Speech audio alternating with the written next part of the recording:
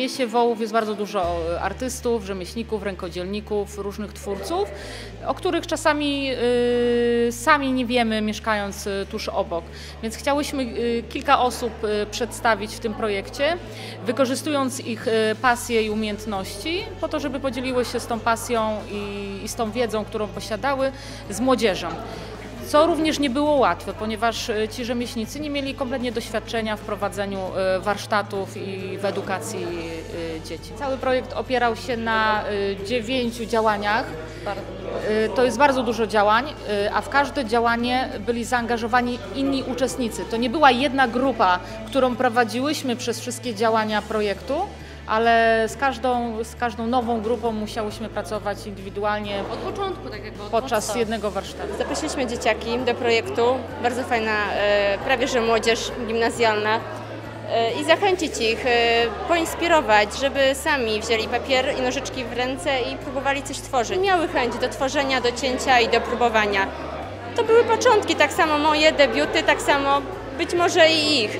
Pierwsza styczność czy z kartką, czy z, z, z kartką okolicznościową. Ja jestem byłym pracownikiem e, domu e, dziecka tutaj w Wołowie e, i wraz tutaj z Grzegorzem wpadliśmy na pomysł, żeby zaangażować dzieci, które są w domu dziecka. Oni malowali projekty, pokazywali nam tak naprawdę swoją wizję tego, jak chcą, żeby te meble wyglądały i Grzesiu tutaj e, jako właśnie pracownik e, pobliskiego sklepu meblowego pokazał im, e, jak mogą korzystać z narzędzi w bezpieczny sposób i dzieci dzięki temu mogły zrobić te oto tutaj wspaniałe meble. Ja byłem bardzo zasko- zaskoczony tym, jak oni chcieli pracować, tym, jak byli zaangażowani i jak w ogóle te wszystkie projekty na początku, które oni, bo tak naprawdę wszystkie te stoły, które tutaj są, to są ich pomysły. W naszym e, teamie były, byli praktycznie sami chłopcy. Najpierw robili wykroje. Na dużych kartkach e, robili litery, e, tak jak na przykład W najpierw było odrysowane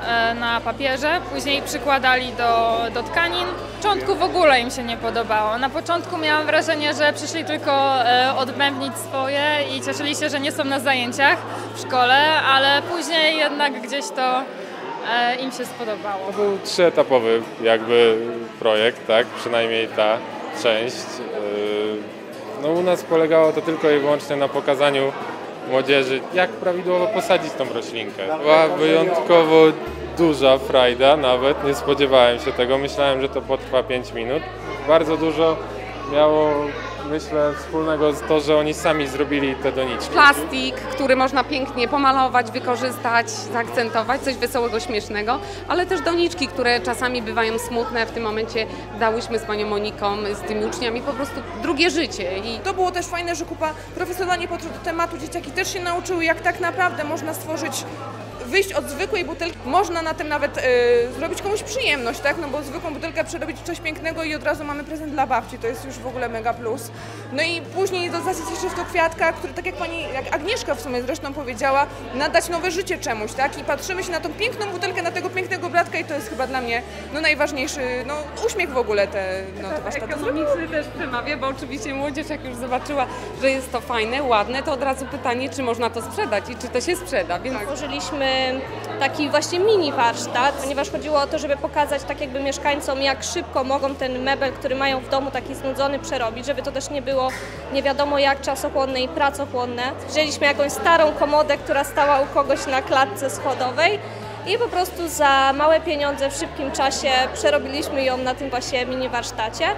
A na wykładzie opowiadaliśmy bardziej o takich teoretycznych rzeczach a propos renowacji. E, Tutaj e, dużo wnosi też zbudowanie tej wystawy, to jak my ten projekt kończymy, bo e, zależało nam na tym, żeby każdy e, przyszedł i nawet jeśli e, ktoś, kto współpracował w ramach różnych projektów, na przykład nie był zadowolony bo e, ze swoich efektów swojego warsztatu, bo tak po prostu jest, no to są normalne rzeczy, że się pojawiają, że chcielibyśmy w ogóle jeszcze lepiej, jeszcze lepiej i jeszcze lepiej, to my żeśmy zapewniały że my zbudujemy tak ekspozycję, żeby każdy tu przyszedł i był dumny z tego, e, co przeprowadził. Nic bym nie zmieniła, bo wiele się też nauczyłyśmy we współpracy i o to właśnie chodzi, że wtedy, kiedy pojawiają się, e, jak to się mówi, jakieś e, góry i doliny, no to e, szuka się rozwiązań. Na szczęście te góry i doliny u każdej z nas pojawiały się w innym momencie, więc rozumiem dlaczego w zespole potrzebne są trzy osoby.